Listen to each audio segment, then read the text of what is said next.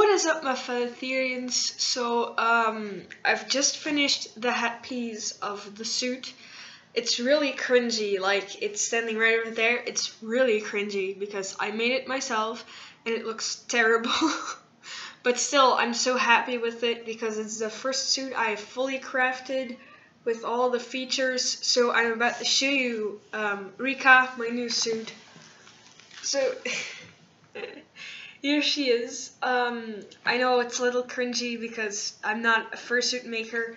I made this entirely myself, and I'm kind of proud of that. But also, it's it's still crappy. Like it's still not a good fursuit. But um, I will be able to wear this somehow. There's glue gun threads on here. So here she is. She has a kind of solid nose. It's all like a booper. and I added eyebrows the last moment because I thought it would give her more character. Well, the fur is kind of messy, I know, but uh, I can like I can comb it and stuff. Um, so yeah, this is Rika, and I'm probably if there is a convention, I'll probably wear her or I'll wear the other suit, which is called Banga actually, because I've never told you what was my, what my other suit was called. So the wolf head is called Banga. It's how I used to call my stereotype. Uh, so I'm gonna put her on. So this is gonna be very cringy.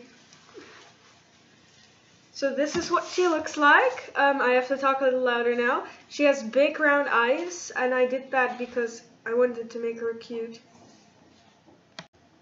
So she is, I'm sorry for the skip there, uh, something happened.